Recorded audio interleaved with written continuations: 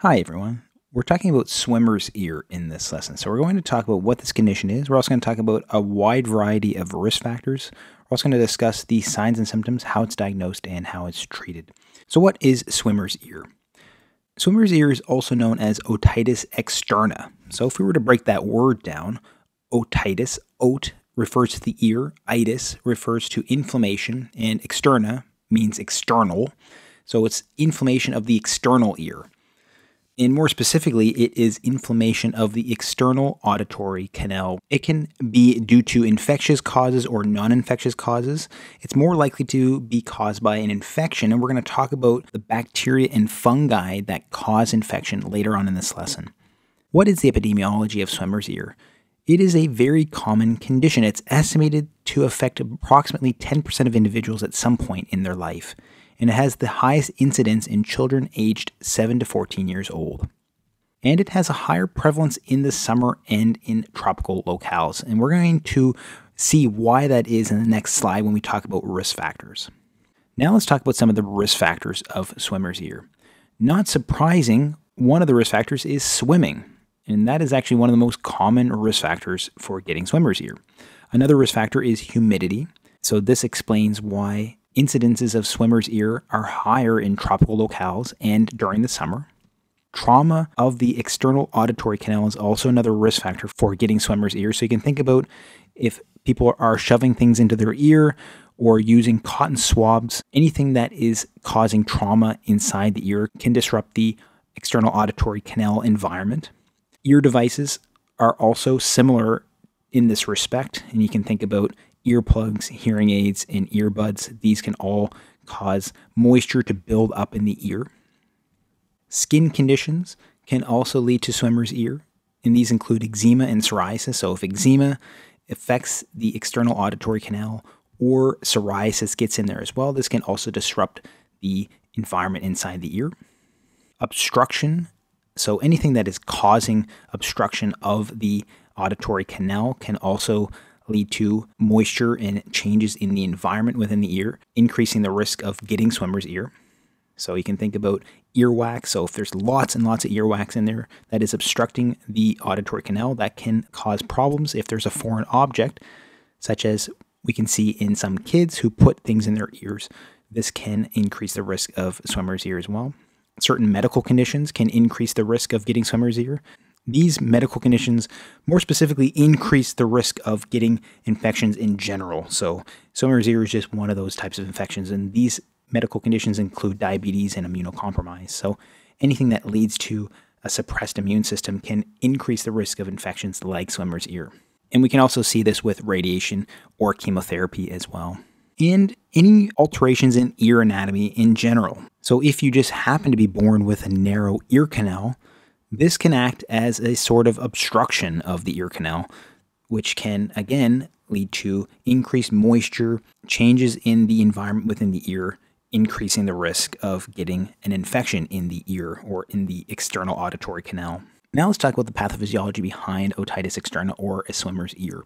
So here is a diagram of ear anatomy. Here is the external auditory canal that leads into the ear and eventually stops at the tympanic membrane. This is the eardrum.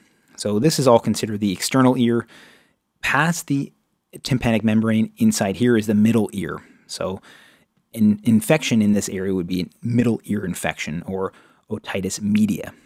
But we're talking about an infection in this area, the external auditory canal. And as I mentioned before, the causes of a swimmer's ear can be infectious or non infectious. Most of the time, it's going to be infectious causes. And most of the time, it's going to be bacteria that cause an infection in this area. So, again, an infection in the external auditory canal. And some of the most common causative bacteria are Staphylococcus aureus and Pseudomonas aeruginosa. So, Staphylococcus aureus and Pseudomonas can cause infection in the external auditory canal. Fungi are also another cause of infection in this area. And the species we're going to see that cause infection in the external auditory canal include Candida and Aspergillus species of fungi. So, how do they actually cause infection? Why does this happen?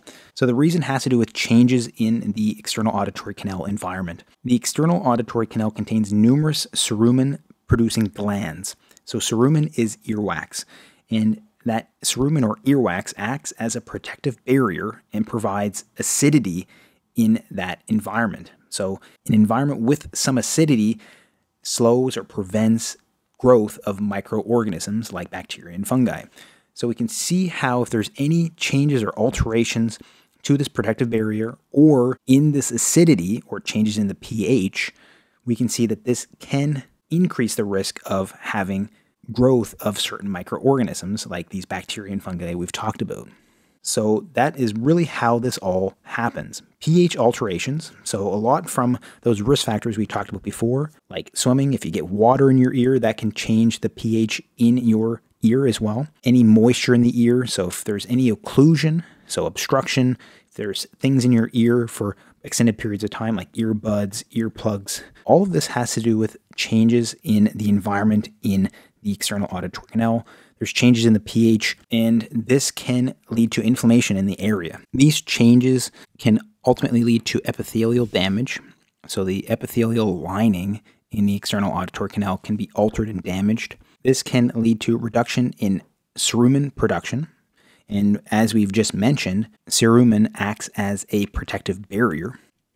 And this can ultimately lead to increased moisture, and then for these reasons, we can see increased microorganism growth. We can also see other non infectious causes doing something similar. If there's skin conditions like eczema or psoriasis that get into the external auditory canal, they can also lead to alterations in the pH. They can also cause inflammation. They can also lead to reduction in cerumen production. So they have a similar mechanism as well. But for the most part, again, it's infectious causes, and most commonly, it's bacteria that cause infection in this area.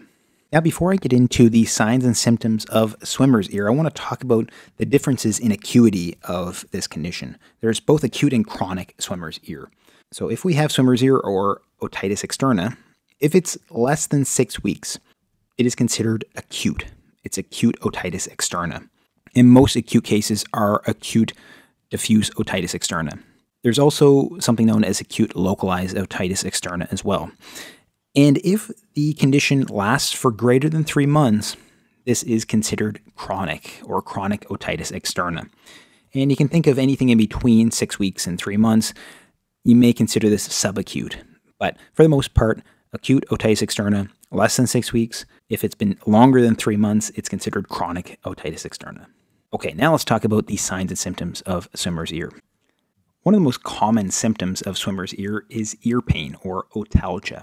And this can be elicited by pulling on the pinna, so pulling on the ear flap, or palpating or pushing on the tragus. And this portion right here is the tragus. So if you were to push in on this, this can elicit pain. And the severity of the pain can vary. It can be anywhere from very mild to severe.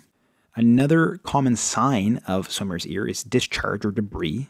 So here are some other images of increasing severity of swimmer's ear. So we can see in this image there's some very minimal debris. In this area, there's more discharge, and in this image, there is significant discharge.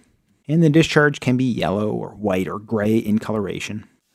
And in some cases, it can start out as clear discharge, and then it can quickly become purulent or pus like in appearance. Pruritus can also occur. So, pruritus is an itching sensation. This is more likely to occur initially with an infection. So, there can be some itching and then it can lead to some pain and discharge. These are by far the most common signs and symptoms of swimmer's ear. And this itching sensation can be more common in chronic otitis externa. So, individuals who have chronic otitis externa may have more itching sensation, some debris, and less or milder pain sensation. And we can also see issues with itching more often in otomycosis. And otomycosis is a fungal infection of the ear. So, this is the term we use for a fungal infection. Sensation of ear pressure is another symptom that patients can often describe. So, it feels like the ear is full or there's some pressure in the ear. And when looking in, external auditory canal becomes erythematous and edematous. Erythematous and edematous means that they are very reddened and swollen in appearance. So when you look in the external auditory canal, the external auditory canal looks red and it looks swollen. It looks like the external auditory canal has been narrowed. So this can be another important sign of swimmer's ear. What are some other symptoms of swimmer's ear? One of them is tinnitus or tinnitus, and this is a ringing of the ear. This doesn't happen in all patients, but some patients can describe this. Hearing loss can also occur. This may be due to the occlusion of the external auditory canal with so much debris and so much edema. In severe cases, we can see lymphadenopathy. So, lymphadenopathy is swollen, tender lymph nodes in the area around the ear. Fever can also occur if in a severe case, and the lymphadenopathy and fever are more likely to indicate a systemic spread of the infection. And this leads to severity of otitis externa or swimmer's ear. In mild cases, there can be pruritus, so itching sensation, and mild edema, and maybe a mild discomfort as well. Moderate swimmer's ear, the external auditory canal is partially occluded with moderate pain or discomfort. And in severe swimmer's ear, the external auditory canal is completely occluded. The erythema and edema are significant, completely occluding the external auditory canal. And there's oftentimes systemic symptoms like fever and lymphadenopathy, and we can also see malaise also in these severe cases. There's some other clinical presentations of swimmer's ear I haven't talked about, but I just want to briefly discuss here. One of them is known as eczematous otitis externa. This is dermatitis, so it's atopic dermatitis within the external auditory canal. In this type of otitis externa, we can see pruritus, so itching, scaling, and flaking, and oftentimes the discharge is more clear in appearance. There's also a very significant clinical presentation of swimmer's ear, and this is known as necrotizing otitis externa or malignant otitis externa. And oftentimes, patients with this describe a deep pain, and it's often very severe in intensity. And this necrotizing otitis externa is more likely to occur in immunocompromised patients. So, patients with suppressed immune systems, so you can think of patients with diabetes or older patients. And then I alluded to this before otomycosis is a fungal infection of the external ear. So we talked about fungi being causative organisms in swimmer's ear. And if it is known to be a fungus that is causing infection of the external ear, then we call this otomycosis.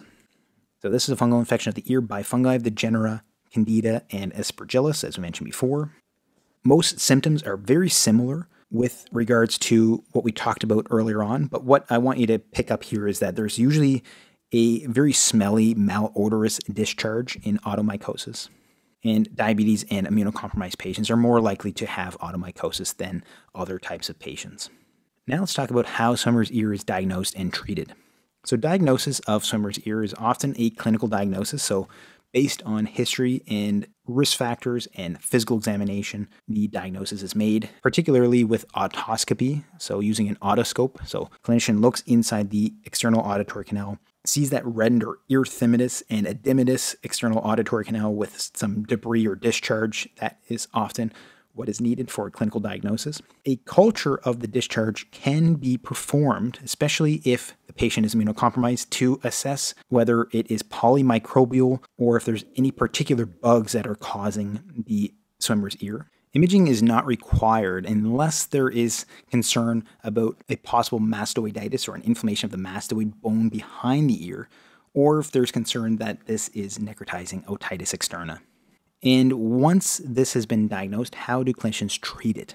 So, first, it's important to identify and eliminate the cause of swimmer's ears. So, identify the risk factors we talked about before and eliminate them. If there's pain involved, pain management is also important. Debris removal is also important because of the treatment of topical eardrops. So, topical eardrops are important treatment for swimmer's ear, removing the debris out of the external auditory canal. You can imagine if you're removing it, it's allowing the topical eardrops to get to where they need to be. So, they're not being stopped or blocked by debris. And for topical eardrops, some of them include acetic acid drops. So, things that acidify the external auditory canal. Some include antibiotic eardrops. So some of the antibiotics that we can see in eardrops include polymyxin B or neomycin. Ciprofloxacin is also another antibiotic that can be found in these types of eardrops, and a lot of times there can be hydrocortisone in the eardrop as well. And a lot of times applying these topical eardrops can lead to a clinical resolution in most cases within 7 to 10 days. And for severe cases, a clinician may decide to admit and put a patient on IV antibiotics, especially for necrotizing otitis externa cases. So if you want to learn more about other infections, please check out my infectious disease playlist. And if you haven't already, please consider liking, subscribing, and clicking the notification bell to help support the channel and stay up to date on future lessons. Thanks so much for watching, and I hope to see you next time.